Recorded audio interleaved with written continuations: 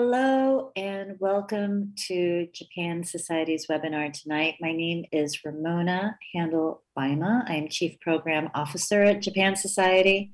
Welcome to Zen and Jap- Japanese spiritual practices. Um, if you will allow me to just give a few notes of appreciation before we get started, I'd like to dearly thank our co-presenter for this Living Tradition series webinar, webinar series, Portland Japanese Garden. Um, and this is brought to you with additional support for the series provided by the government of Japan. Um, and the Talks Plus program season at Japan Society is um, brought to you by Mitsubishi UFJ Financial Group and ORIX Corporation USA, as well as a few anonymous donors, the Sandy Heck Lecture Fund, and Helen and Kenneth A. Cohen. So thank you all to making this possible tonight. This is the second installment of our Living Traditions series. It's a five part series. Um, we started with a look at Japanese gardens, which you can see online if you missed it. Um, this series um, unravels the historical journeys of some of the most iconic facets of Japanese culture through conversations between thought provoking experts and cultural stewards on how they maintain deep rooted traditions in the present day. Tonight's talk, this talk, examines Zen's role and perception in Japan and the West, differences in practices, and the path forward in a post or kind of post COVID world. Our moderator tonight is uh, Professor Paul S. Atkins. He's a professor of Japanese in the Department of Asian Languages and Literature at the University of Washington, Seattle. Thank you, Professor Atkins, for moderating tonight. He holds not only a PhD in Japanese from Stanford University, but he specializes in literature, drama, and culture of medieval Japan. Um, his publications, which I'm sure you'll all want to check out after tonight, include Teika, The Life and Works of a Medieval Japanese Poet, and Revealed Identity, The Noh Plays of Komparu Zenchiku. So over to you, Paul. Thanks for taking us on our journey tonight. Thank you very much, Ramona, for the kind introduction. And thank you to everyone for joining us for tonight's program or this morning's program, Zen and Japanese Spiritual Practices. In this program, we're going to hear presentations from three distinguished speakers. And those presentations, which are going to be quite brief, will be followed by discussion among the panelists and we will leave time to take questions from you, the audience, at the end. And so I invite you to submit your questions through the YouTube chat throughout the program. You don't have to wait until the Q&A. As soon as you have a question, you can just type it in there. And if we have time, we'll get to that. Uh, we titled this uh, program Zen and Japanese Spiritual Practices. Zen is definitely a Japanese spiritual practice. It's most certainly also a religion. It does claim that there are supernatural beings that exert influence on our world, and it asserts the existence of an afterlife or afterlives. But it's also much more than a religion. It contains, for example, a method of meditation. In fact, strictly speaking, Zen is meditation. Dhyana, the Sanskrit word, that became Chan, Son, Zen, just means meditation. And Zen has produced a rich and intriguing culture, and it offers us both a theory of mind and a way of life. In my opinion, in my limited knowledge, no other Asian religion has exerted such a strong grip on the American consciousness. From the 1950s onward, many Americans discovered Zen, uh, as I did, I think, via the literary works of the Beat Generation, which sought alternatives to the materialism, superficiality, artificiality and conformity of mainstream American culture.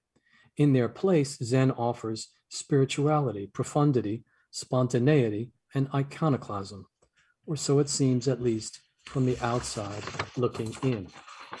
Our first speaker tonight is the consummate insider when it comes to the world of Zen, the Reverend Daiko Matsuyama, deputy head priest of Taizo-in Zen Buddhist Temple in Kyoto as well as a visiting lecturer at Stanford University. He holds a master's degree in agriculture and life sciences from the University of Tokyo. After training at Heirinji Temple in Niiza in Saitama Prefecture, he was appointed the deputy head priest of Taizoin Temple, which is part of the Myoshinji complex in 2007. Reverend Matsuyama is acclaimed for organizing intercultural activities for foreign visitors, and he is the author of a number of books, including my favorite title, Forget What's Important First 30 Zen Teachings for the Wavering Soul. And now I'd like to turn it over to Reverend Matsuyama to get us started.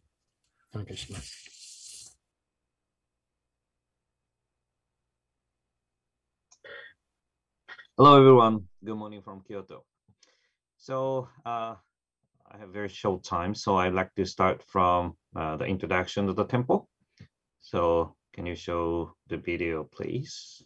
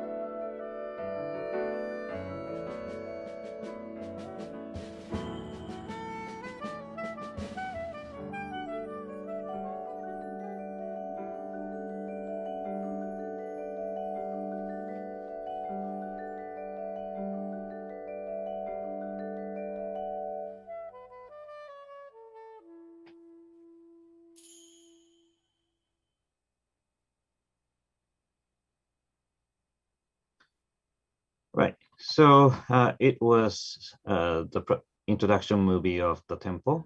So this is a map of our complex. So we're the Myoshinji uh, Temple Complex. We're the headquarters of Myoshinji School of Rinzai Zen sectors.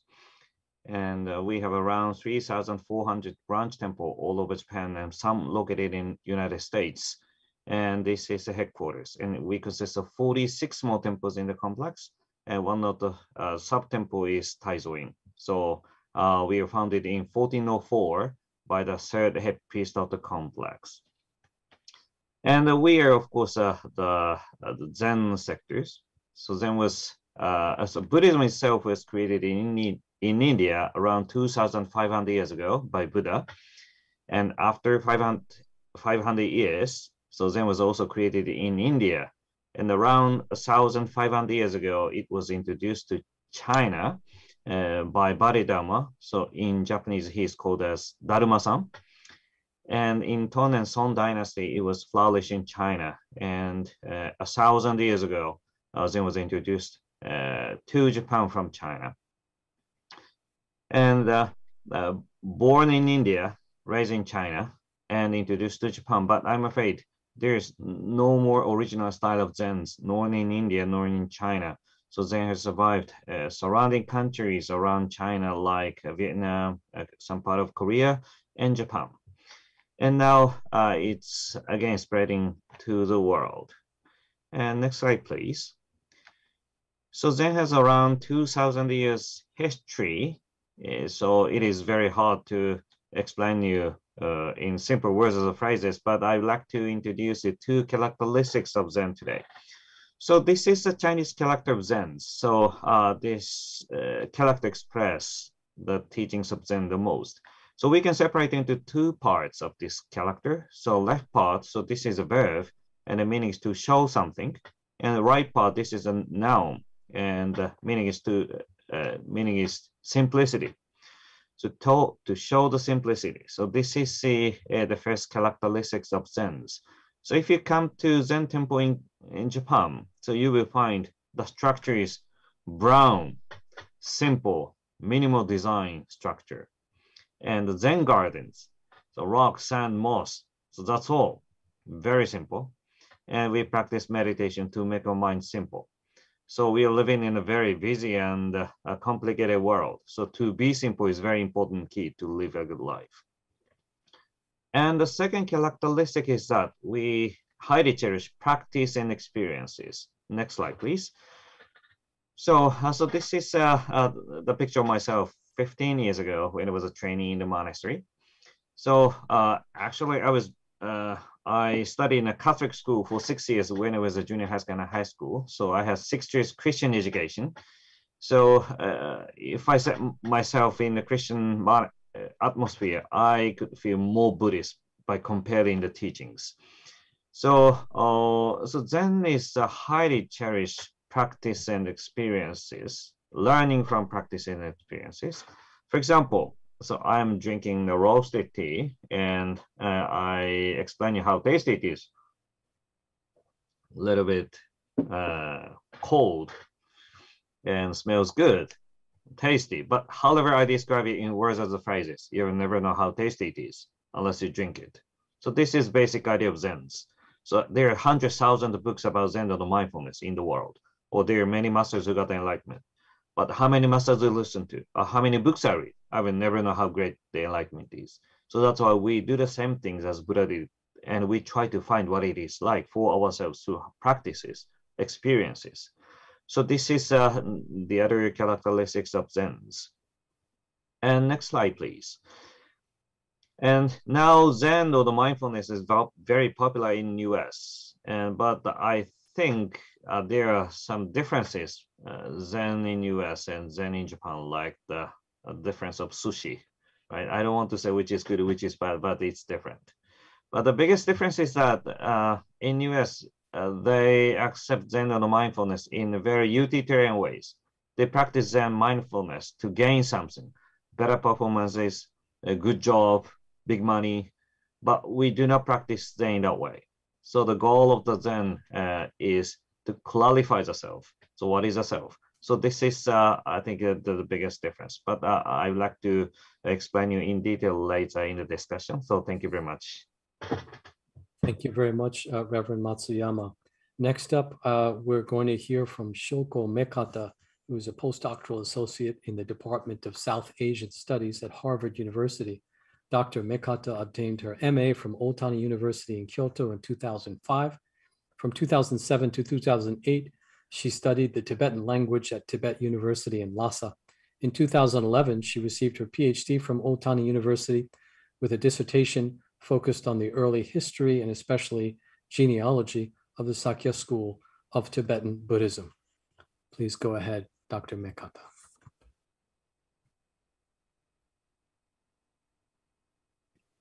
Thank you very much. Hello, um, thank you for introducing me, Professor Atkins. And today I'd like to talk a little bit about Zen in America or the West, and also the difference between Zen and then Zen in Japan. And then I, I believe this is actually not only about Zen, but it's about Buddhism itself. Um, could we show, oh, yes, please, thank you. And then next one, please, yes. So there are three topics I want to talk about today. Uh, how does Western society regard them? How has Zen affected Western society? And what are the differences between the Zen practices in Japan and that in the West? Next one, please. So the most well-known figure in the general when we talk about Japanese Buddhism or Zen in America is Suzuki Daisetsu. Next one, please. Um, or D.T. Suzuki. He introduced Japanese Buddhism in English in the Western world. And as for the background about how Buddhism spread in the West, one big factor is declining attendance in Christian churches in Europe, or maybe in America also. In that kind of environment, people still wanted some, some kind of spirituality. Then some people were attracted a new, new religion. People thought Buddhism is easy to practice by oneself. People thought. And since they don't need to accept many doctrines such as the like heaven or hell, things like that. And also the thinking of mindfulness is good for them psychologically. Um, next slide, please. So this is a well-known Zen symbol, and so which is interpreted in many ways, such as enlightenment, dharma, or the universe, etc. This group of interpretation expresses the mind without attachment, which is one of the fundamental Buddhist thought. In the West, Buddhism is recognized as a symbol of inner peace. Next one, please. So how has Zen affected Western society? Um, next slide, please. So we could say that Zen has affected Western society in many positive ways because Westerners are attracted in the way above when I just mentioned. Zen, along with other Asian religions, has contributed to the more pluralistic outlook in the West. Um, next slide, please. So what are the difference between the Zen practices in Japan and that in the West? So I moved to America some years ago from Japan, and I have seen many American or Western Buddhists. From my ex experience, I found some very interesting things. One of them is that in American Buddhism, um, Buddhism some people who claim that like they are Buddhist but they don't believe or they don't like some fundamental things in the traditional Buddhist doctrine, such as karma or reincarnation. If they don't believe those teachings, those thinking, they cannot be Buddhist in the traditional Eastern way. However, it seems that's being accepted in America or Western society.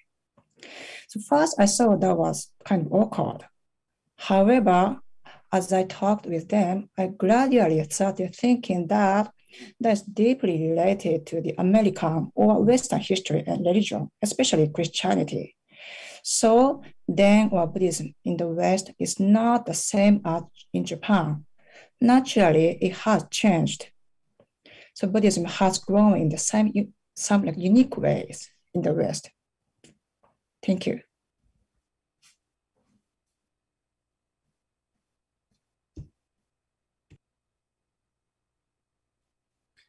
Thank you very much uh, for those stimulating remarks, and I'm sure we'll uh, want to be pursuing them a little bit later. Uh, our third speaker is Mr. Dave Morin, who's an entrepreneur, investor, and philanthropist. He is co-founder and managing director of Offline Ventures, a venture capital fund. Mr. Morin holds a degree in economics from the University of Colorado at Boulder, and he is chairman of the board of trustees of Esalen Institute, a nonprofit holistic learning and Retreat Center. And now I'd like to turn it over at last to Mr. Morin.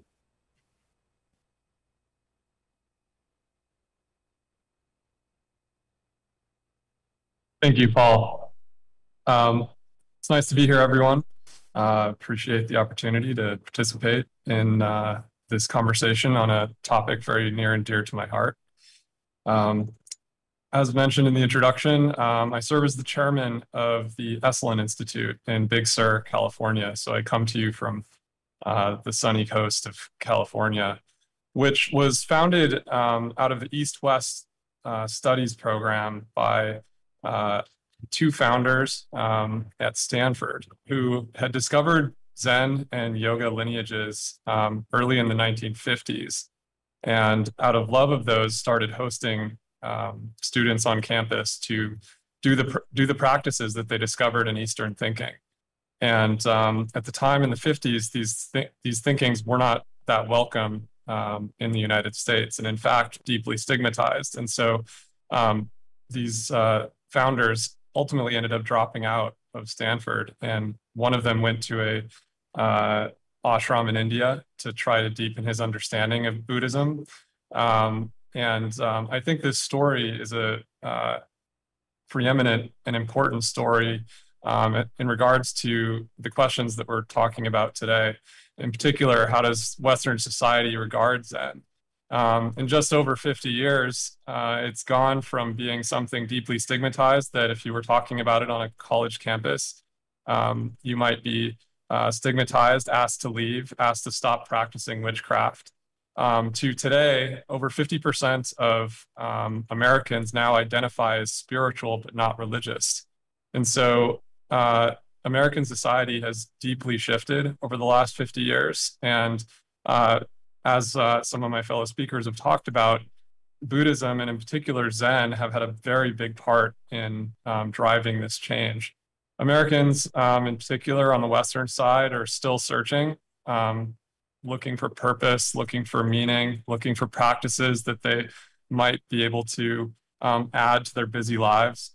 Um, even though some might misunderstand or misassociate Zen, in particular with Taoism or other forms of Eastern practices, I think the idea of Zen represents a calm in a society that um, is otherwise largely in chaos due to the way that we are organized.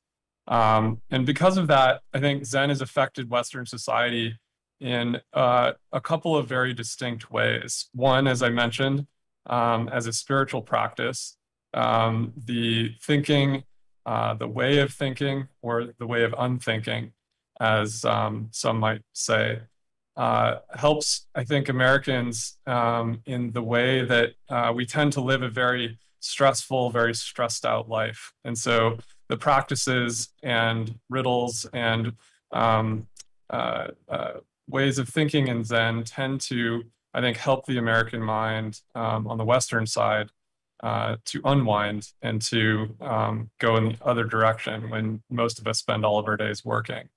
Um, it's also affected the American way of life as a design aesthetic. And I think if you were to actually ask most Americans what is Zen, uh, they might actually um, think of it purely as a design aesthetic, something that Apple delivers to you by way of a product or a way of designing your home or your garden. Um, and if you're very sophisticated, perhaps a way of thinking. Um, and so what does that mean in terms of the differences between the ways that Zen is practiced here and uh, that in Japan? Um, as somebody who helps run, uh, you know, Esalen is a school. We bring through about 15,000 students every year. Uh, we offer Zen, Tao, yoga, all forms of Eastern um, spiritual practice. We also study the theory um, in partnership with many research partners around the world. And the predominant difference, I would say, is that one is one of um, the individual versus the collective. Um, I think that most in the West consider it to be something that you practice as an individual, not necessarily in collective, uh, which is probably a misunderstanding. And the adherence is not as strict. Um, and uh, that's something that we can also talk about as well. But um, those are my opening thoughts. Thank you very much, uh, all of you, for your stimulating remarks, and thank you for uh, keeping to the agreed time. I'd like to open things up with a panel discussion, beginning just among the four of us before we um, open things even further to the questions and answers. I've got some questions for you, but I also encourage crosstalk. If you've got questions for one another, that will be wonderful. We'll try to spread things around so everybody has a chance to say a few words. If I may, I'd like to begin with uh, Reverend Matsuyama um, and your emphasis on um, Zen's emphasis on direct experience. And you mentioned uh, the 100,000 books that are on Zen. I probably have, you know, a couple of them back here. Mm-hmm. And uh, I'm very interested um, uh, in Zen from that perspective. Zen seems to reject um, theoretical knowledge, to reject, um, you know, to prefer the empirical and it really has an anti-intellectual streak in it which is interesting because it attracts the interests of intellectuals very much in the west. It's almost like they have a masochistic uh, desire to practice a religion that rejects their very way of life. So um, since i'm in a university uh, i thought i would i'm supposed to be an intellectual I'd, I'd like to ask you about that. Is zen really anti-intellectual or something else? And then the relationship between what zen calls mind and you know the intellect and the brain. So mm-hmm. If you would please. Yeah thank you very much. So of course Zen do not reject intellectualism but uh, uh, we have uh, how can i say uh, plenty of books mainly a old story of the the the conversation between the master and the disciples and it is very very important. But um, as I said uh, um, if I study books and the stories uh, of uh, old masters, so there still lies big questions like uh, meaning of life. So what is a self? So what is enlightenment? So this is uh, uh, the things that cannot be solved by reading books. So, so that's why uh, so um, we highly cherish uh, the learning from practices. So it is so in Zen teachings. There's a phrase that uh, uh, we cannot express in words as phrases, the, which is uh, most important and the core teachings. So I think this is uh, uh, the universal things uh, from ancient times. So that's why so it is a modern and technology world, but we still uh, cherish learning from practices. And it is very personal learning from practices, not uh, expressed in the books or the phrase, uh, words. Thank you. Yeah, I, I think everybody is uh, craving direct experience these days, especially since so much of our life is now mediated by these online encounters. Mhm.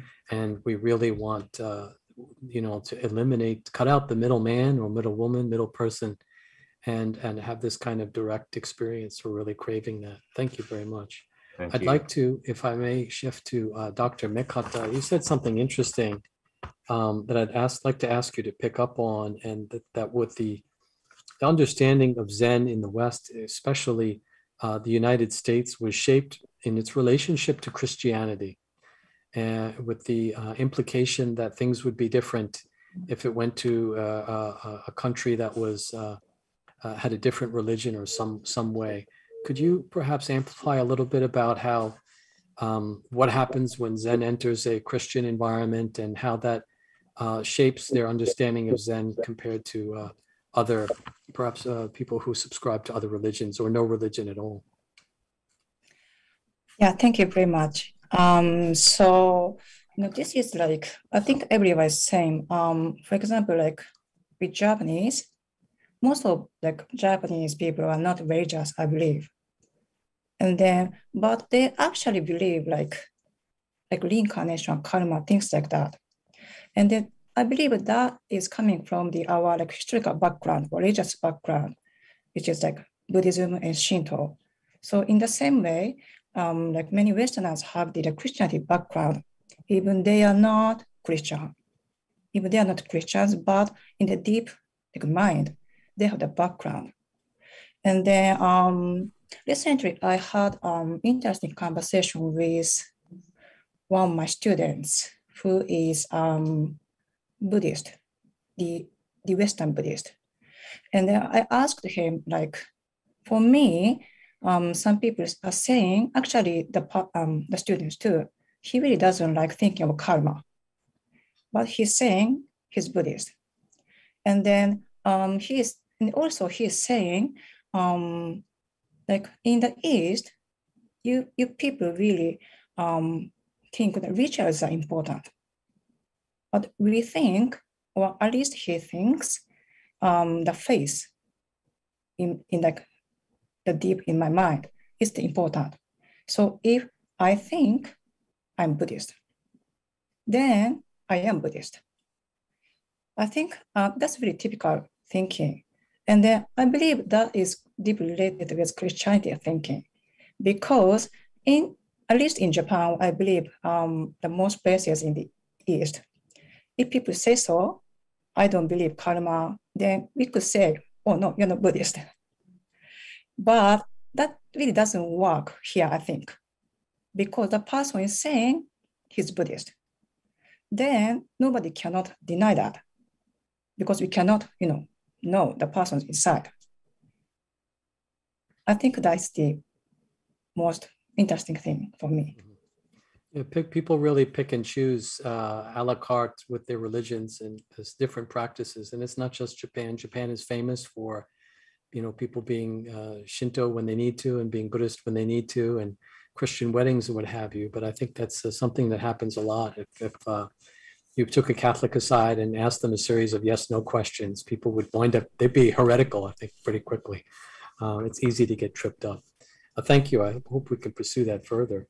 I'd like to just uh, make things fair and spread things around. Mr. Morin, um, you had a lot of intriguing things. Uh, your back, the backstory of Esalen, I wasn't aware with uh, aware of uh, as a Stanford person myself.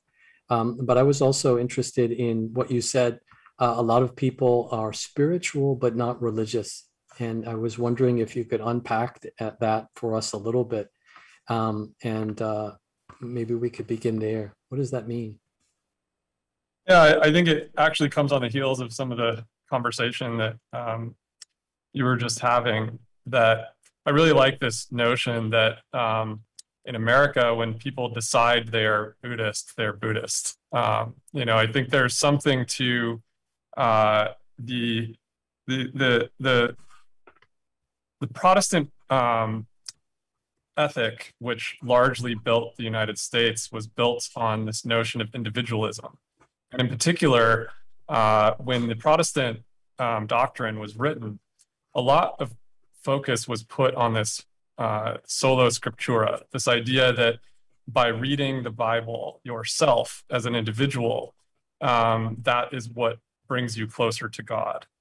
And so a lot of the way that Americans tend to even talk about themselves is by saying, I am a Buddhist or I am a Christian or I, you know, I I put on this identity.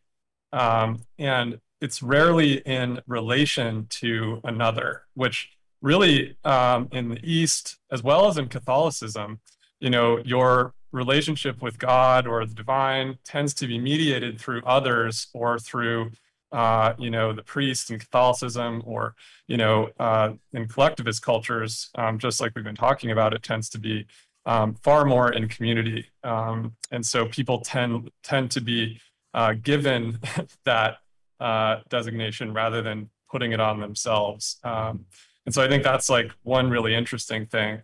Um, in particular, to answer your question more directly, I think that because of this, people tend to uh, try on, just like you said, many, you know, they're a Christian today, a Buddhist tomorrow. They they they do Zen in their garden and you know use Apple iPhones.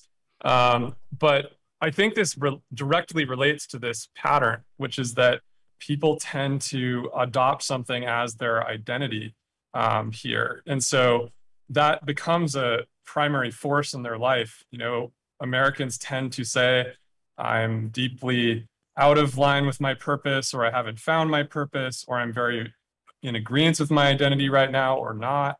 And so, this notion that over 50% of Americans now identify as spiritual but not religious, I think it, I, it has to do with that identity process and this Protestant ethic with which this whole country was built upon.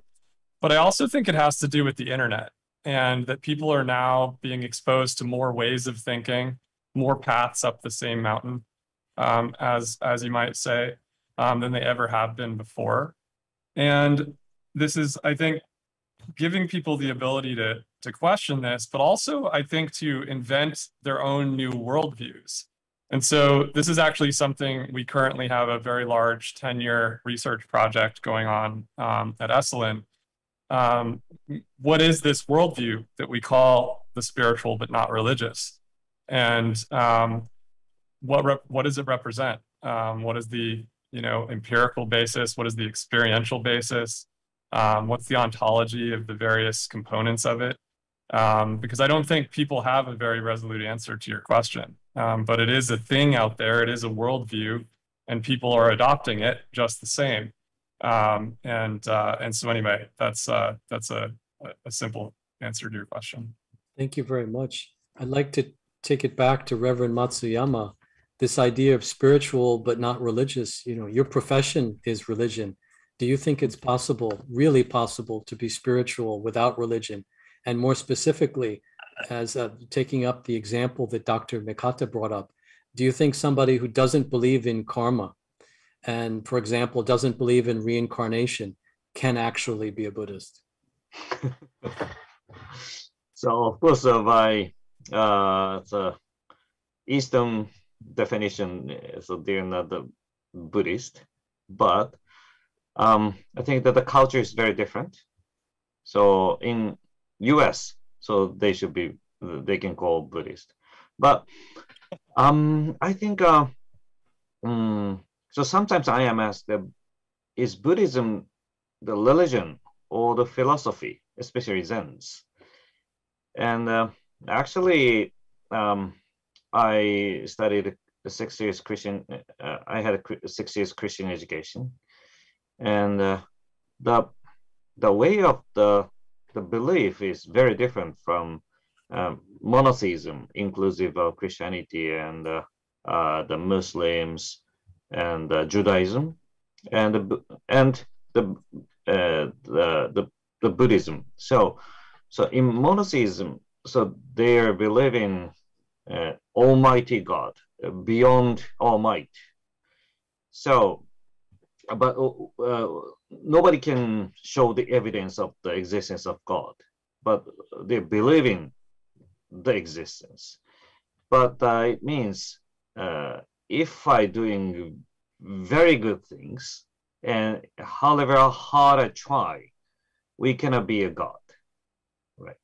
but uh, the Buddhism, the the the belief of Buddhism is very different. So so of course the Buddha has a, a great talent, but he was uh, he he did exist uh, 2,500 years ago in India, and so we do not believe in his existence. He did exist. So so what we believe in that uh, he has enlightened something. So nobody can show the evidence of he has enlightened something, and there is a, a great enlightenment somewhere.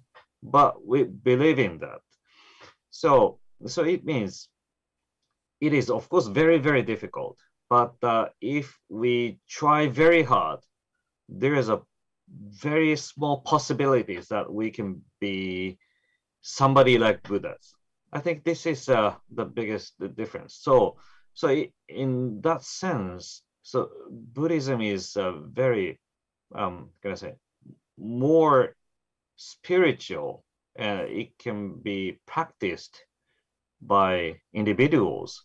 So I think uh, so. This is uh, the streams of uh, the belief in United States. I think the the way of the belief it fits to that uh, uh, the streams. So so uh, I think this is why the Buddhism is the getting popular in the U.S. I believe. We've all got our various theories. I'd like to invite uh, any of the speakers, if you've got questions for one another, or uh, any of you, including Dr. Mekata, Mr. Morin, you have things that you didn't have time for in your presentation, just something to extra you're welcome to do that. We're starting to get uh, questions in on the Q and A, which we'll turn to uh, when we need to. Um, but uh, if you'd like to say anything or add anything, go right ahead. Um, can, can I add some words? Yes, so, please do. Um, so uh, every two years, I have a chance to go to Silicon Valley, and I go to uh, the bookstore in Stanford. So I always find so the pilot's book says it says mindfulness, mindfulness, mindfulness. But I think it's, it's, it's because the students are suffering. So if they are not suffering, they do not have to read something, the books or something like that. And um, so the the characteristics of uh, uh, the the people in U.S. Uh, so I I think that uh, so as Mekata Sensei said, so they're how can I say, picking up the uh, the uh, specific teachings and customized for their own ways. And uh, for example, so mindfulness is a good example. So mindfulness is the one of the uh, eightfold path uh, which uh, the Buddhist followers should follow, but uh, they're picking up only the mindfulness. But the balance of other eight is very important, like uh, using right word or right devotion or right uh, liveliness, li livelihood. So it is something like um, uh, if somebody says uh, the brown rice is very good for health, and uh, uh, so then what happens is that so, oh, brown rice is very good for health and uh, eating lots of brown rice and having uh, the vitamin from the tablets and drinking uh, the protein and go to the uh, the gym for work. So, so, something like that. But uh, the the true meaning of the uh, brown rice is good is that of course we have to have a good sleep and appropriate uh, exercise. And if we eat, uh, if we eat right, white rice, then um, so it is uh, better to have the brown rice. So the balance is very important for the health. So I think this is uh, uh, something, uh, I can say, this is a characteristics of the, the people in US. So. I think uh, so uh, um, from the uh, Japanese uh, way, uh, from Japanese viewpoint. So I think it's a, the so they need more balance through uh, the many uh, the visions. So so so this is my can I say uh, uh, what uh, what I see mm-hmm. when I go to U- United States. That's interesting. We've been talking about this kind of buffet style or a la carte mm-hmm. approach to uh, Buddhism, which is not unique to you know Americans studying Buddhism. I think we see it in a lot of places, and you've refined that. If I could paraphrase it, it's something like not really you know focusing on the cognitive aspects of uh, Zen practice and not the ethical part that tells us how to not just how to think but also and not to think but how to behave and how not to behave. And that's a big mm. part of it. Um, my personal impression of Japanese uh, Zen Buddhism is that it's very strict and it's very tough. And the image that it has in Japan is very different from the image I formed that it was kind of a free for all and you could kind of do what you want. And it's really the opposite of doing what you want. I recently read this book. I don't know if you know about it, Kaoru Nonomura. It was written originally in Japanese and then in English. It's called Eat, Sleep, Sit it uh, describes, uh, beautifully describes uh, a year that somebody spent as a trainee at Eiheiji, mm-hmm. the Soto school temple. And it was strict. And it reminded me of movies that I saw about people joining the Marine Corps, uh, the boot camp. And it was really brutal, quite frankly, in some ways. Uh, mm-hmm. what what are these people selecting for? They weren't selecting for wisdom and, and, compassion. They seemed like they were they were selecting for mental and physical toughness in mm-hmm. order to become a priest. It was very fascinating. And I think that's a pretty standard um, definition. Um, anyone else, Dr. Mekata, Mr. Morin, want to add points or respond? I think that um, in the context of this, this is very, this is super interesting. I wasn't sure this is where we were going to go today, mm-hmm. but um, I think that this is not unique to Buddhism or Zen necessarily. Um, one of my favorite uh, recent books um, is a book called uh, How God Becomes Real. And it's by a Stanford, uh, Stanford researcher named Tanya Luhrmann. And she does this beautiful um, ontological, you know, uh, anthrop- really she's an anthropologist, um, looks at religions all over the world and the commonalities amongst them from the, you know, far islands of Indonesia to uh, Christian uh, in the United Christianity in the United States and um, everything in between.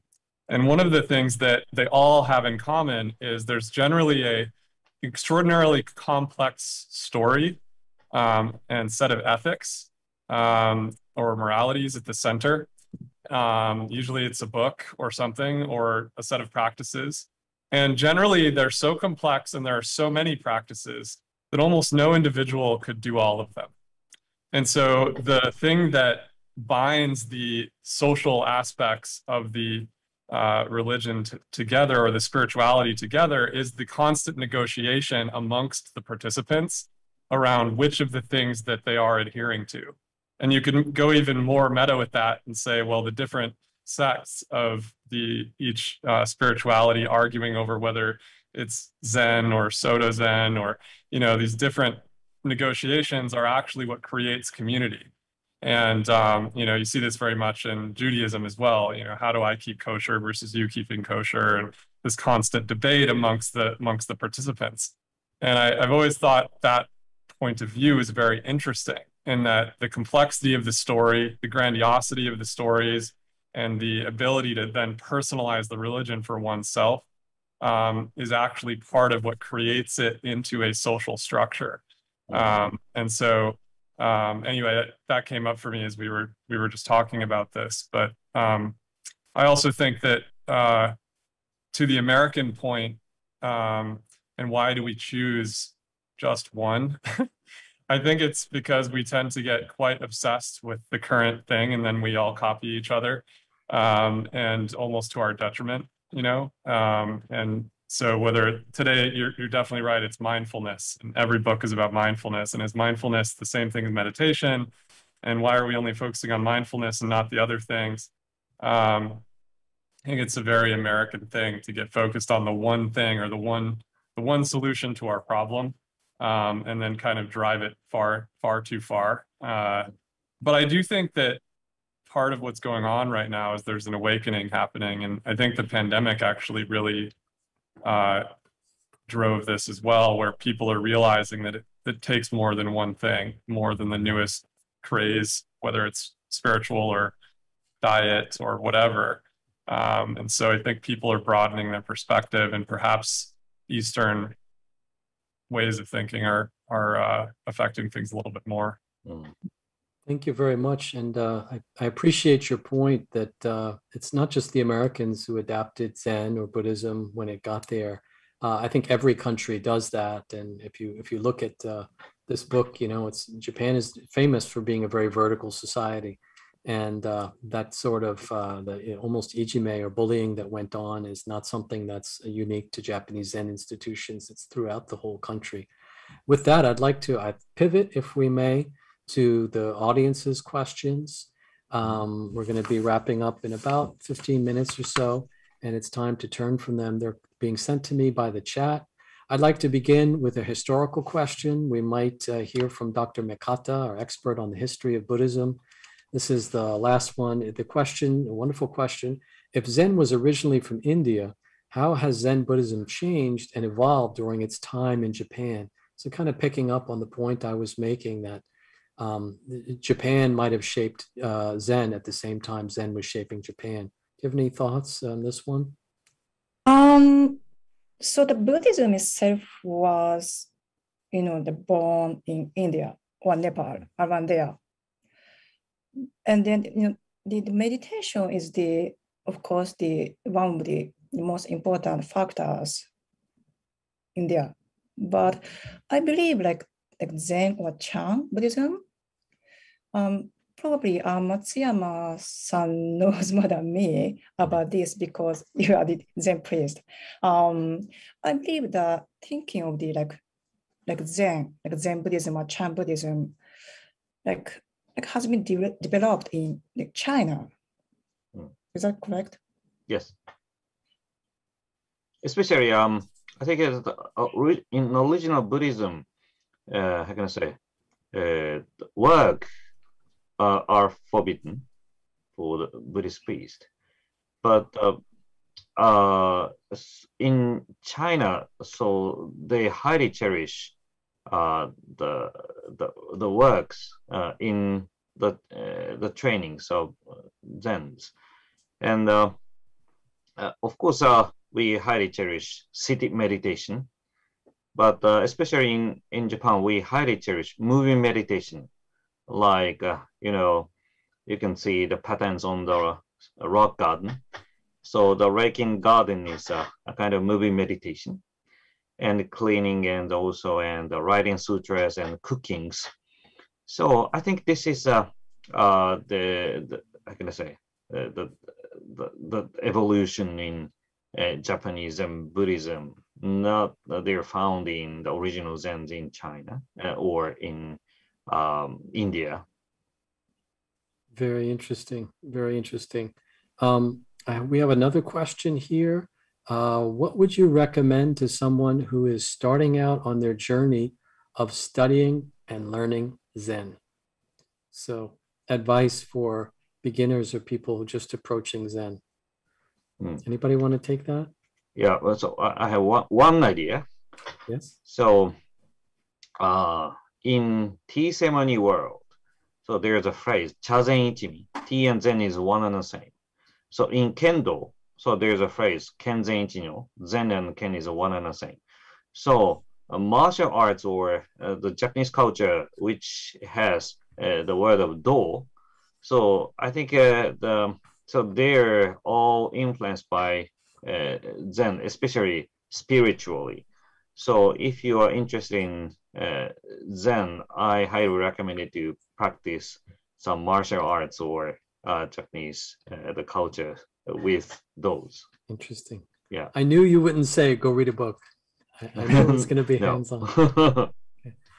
Uh, Dave, do you have any ideas on on uh, the things that you might offer at Esalen or yourself? Uh, things that you did Yeah. to approach Zen? I would agree. Uh, my introduction to Zen came through the practice of Aikido, um, which I, as a young as a young youngster, um, I grew up in Montana, which normally you wouldn't uh, associate with uh, martial arts or Zen, I suppose, more associated with cowboys. Uh, but uh, I was lucky to have a, uh, a an Aikido dojo and a um, sensei who studied in Japan and was a 12th degree black belt. And so I was able to learn quite a lot, uh, both about uh, Aikido, but meditation um, and Zen early on.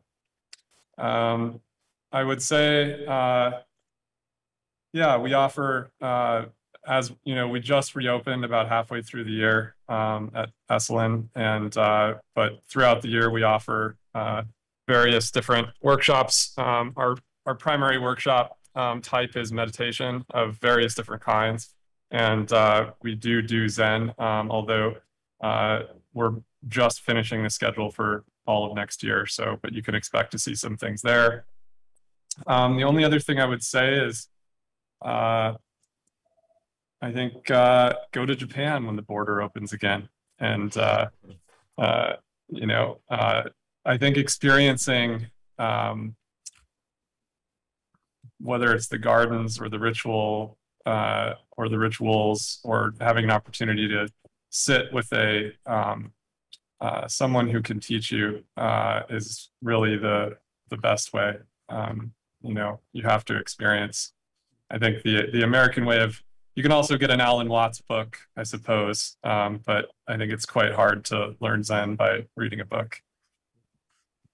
I could give you a lot of lists of of books not to read. Uh, Yeah. not sure I could give you books to read. Um, we have another one here. This is tailor-made. I know it's it's right in uh, Dr. Mekata's alley. Could you talk about Zen versus Tibetan Buddhism? Buddhism is a huge, huge religion. It's like it's you know it's like we're talking about Christianity. We we just throw the word Buddhism around. It's so old and it's so diverse that I think we um, you know think all Buddhism is Zen or something like that. So could you tell us a little bit about what Tibetan Buddhism is like compared to Zen, please? Um, so Tibetan Buddhism, the most, the important factor is, I think the esoteric Buddhism. That's really important in there. And then, um, uh, of course, they do a lot of meditation. That's kind of a part of Zen, I believe.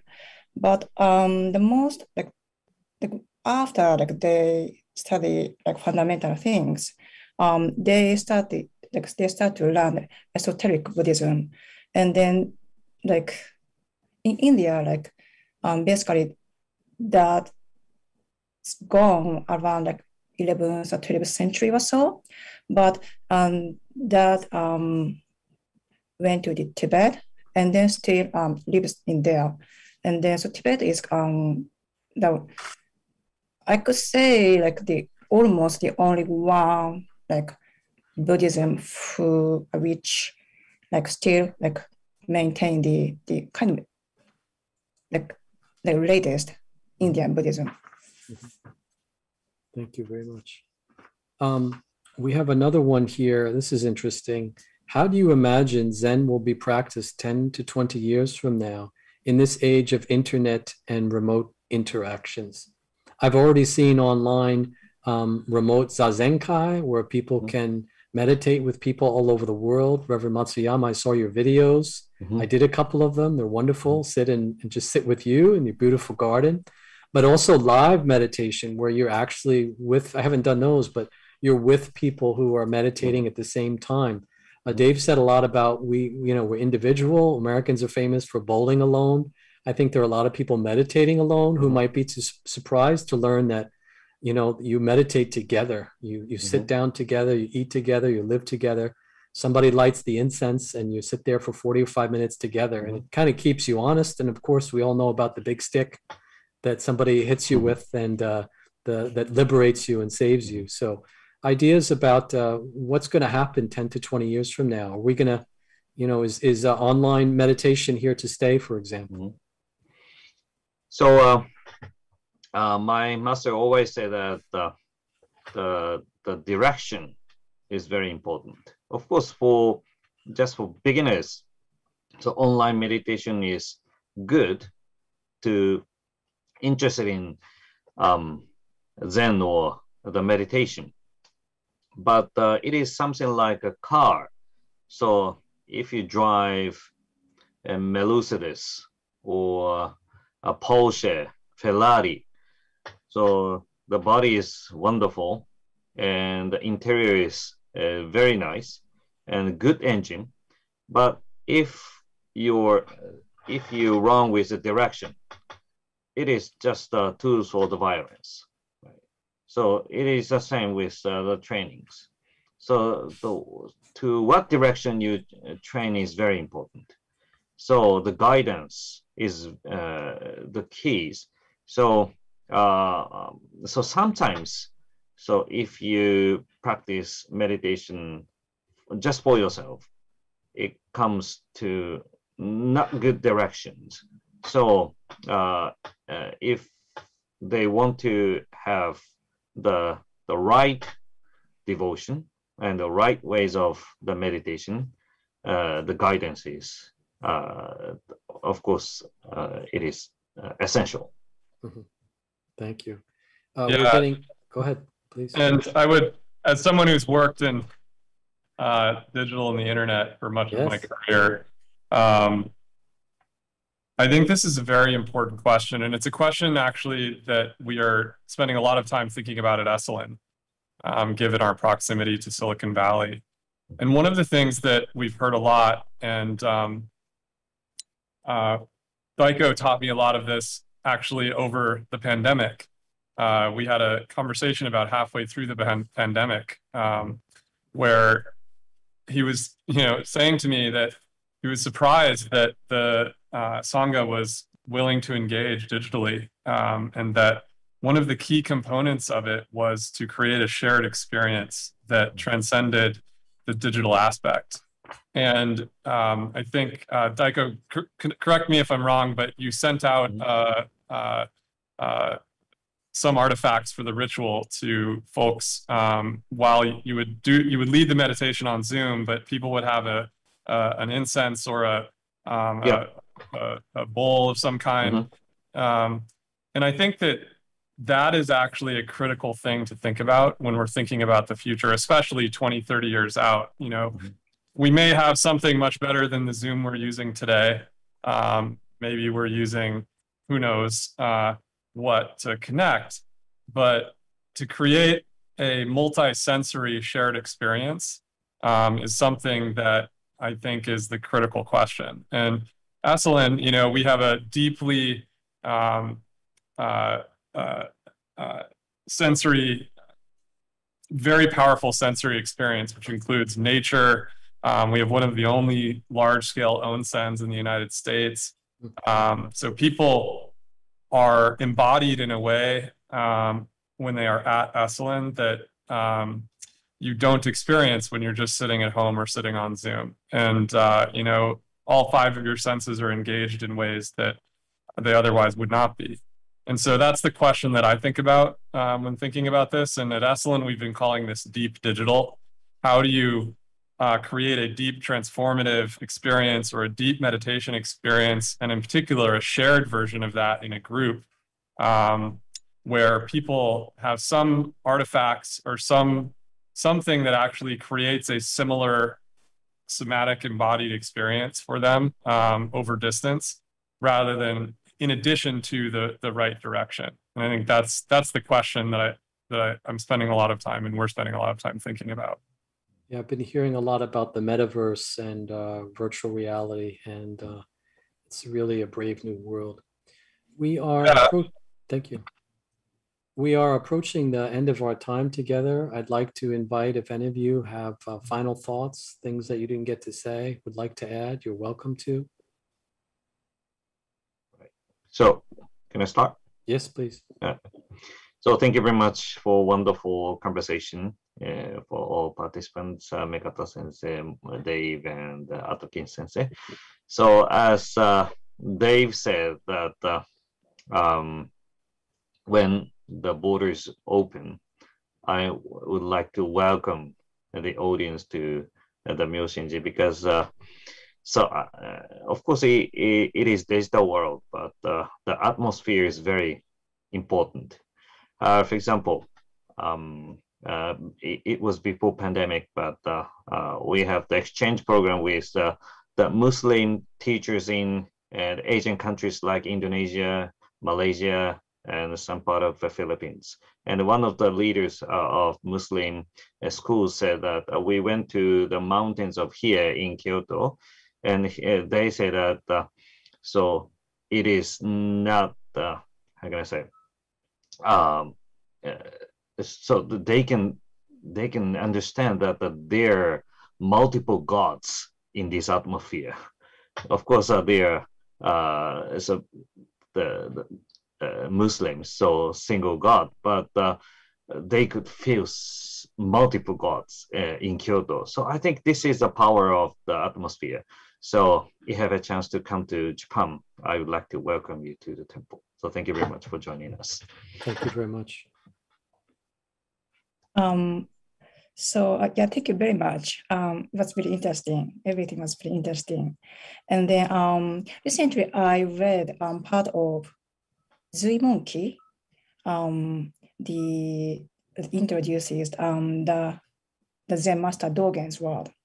And then um, the com- and then today's conversation reminds me that um, so I believe um, so the one passage that the master Dogen said um, like people who like started believing like Buddhism, they often want to like know what is the essence of the Buddhism or Dharma or things like that. But do not think like that.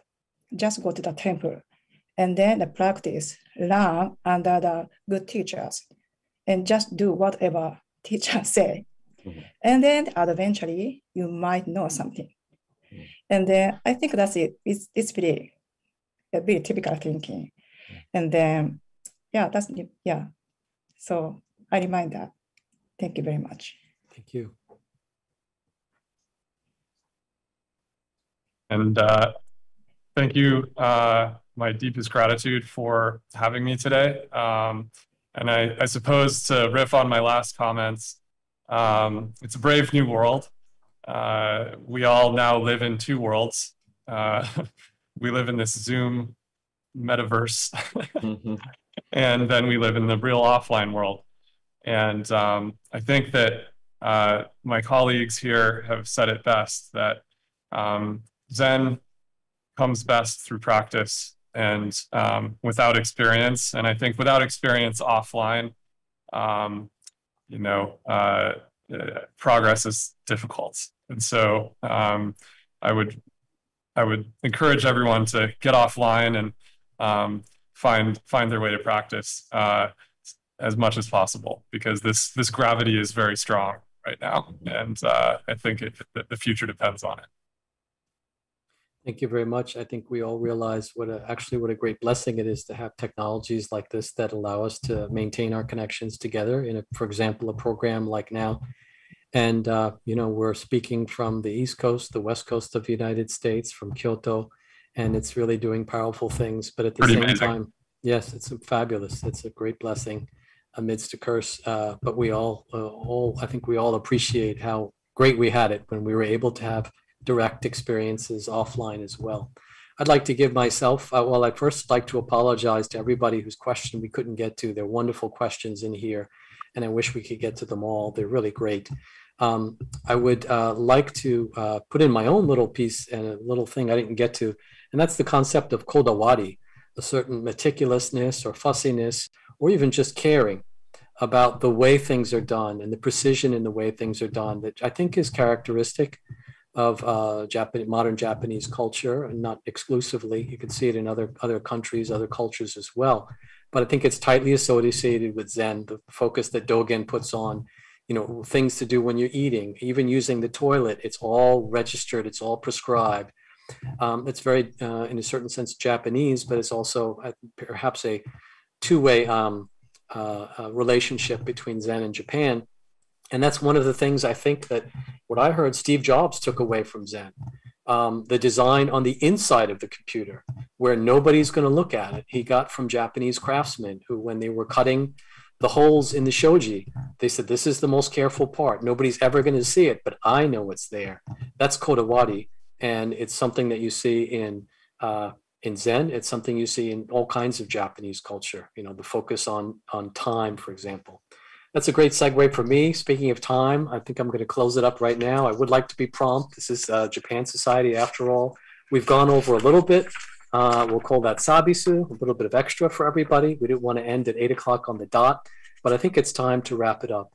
I'd like to thank again our wonderful, wonderful speakers, uh, Reverend Matsuyama, Dr. Mekata, Mr. Morin, for your fabulous comments and your time and your presence here. I'd like to thank all of our wonderful audience members who are joining us all over the world and for your fabulous questions.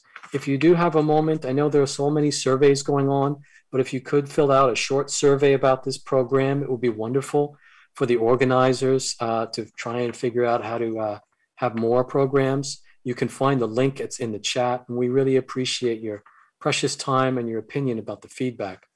And the last thing I'd like to say is the next one in the Living Tradition series is a live webinar on Thursday, November 11th, and that's 7 p.m. I'm not quite sure. I think that's uh, New York time. Um, Eiichi Shibusawa, the new figure on the 10,000 yen note. Um, we're really going from the sacred to the profane here. Uh, Eiichi Shibusawa, the spirit of Japanese ethical capitalism and sustainability. So there is actually spirit in there as well. And we very much hope you can join us at that event as well. We invite you to come. Thank you all very, uh, uh, very much for attending. I wish you all a good day or a good night, good evening, and be well.